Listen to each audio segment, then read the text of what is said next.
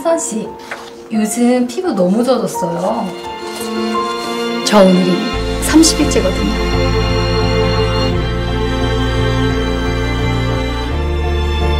30일 후 완성된 빛나는 피부 제니피크 더블 드롭 앰플 랑콤